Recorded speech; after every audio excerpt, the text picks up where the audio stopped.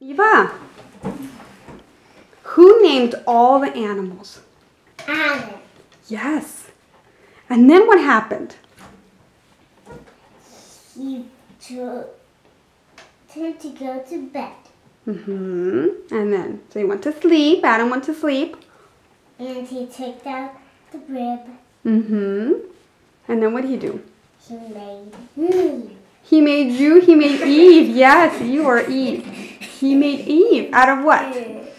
Out of Adam's rib. Uh huh. Yes. Isn't that beautiful? Good job.